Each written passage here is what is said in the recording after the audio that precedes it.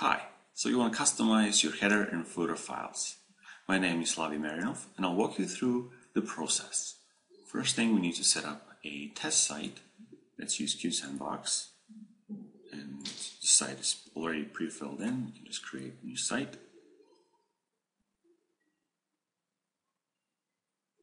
And the site was created. Let's go to admin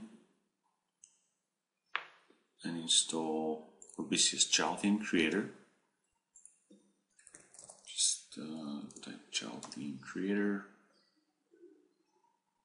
It should appear. Install. Activate.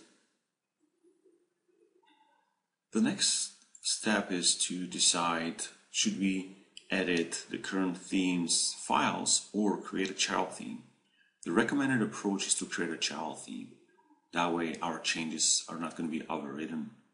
Let's go to appearance and then child theme creator and visually pick the theme that we want to use as parent theme. Let's pick 2015 and we can select some options you can customize the description if you want we're not going to do that now we want to make sure the theme is active so WordPress's theme. Will be switched to the new theme. Let's create child theme. Nice. Continue. Okay in here we see child 01 and the next step is to go to Orbisius theme editor. This section is part of the child theme creator. We can go to this area and we're presented with two boxes. Those are two editors.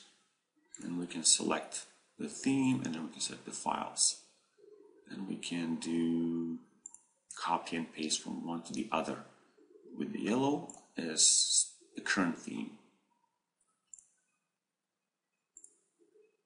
Okay, we can actually we can select let's say 2015 and then if we want to copy some files to the right hand side since we want to edit the header and footer we can select them from here and keep in mind those files they may look text files but they're actually PHP files so you have to be careful to make sure that there's no PHP syntax errors otherwise the site will crash and I really mean it. And it often happens.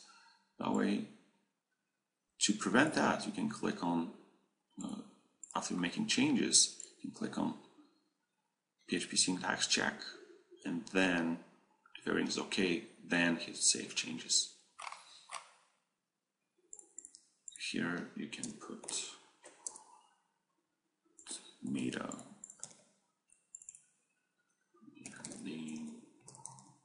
and save it. But as I said, make sure the syntax is checked.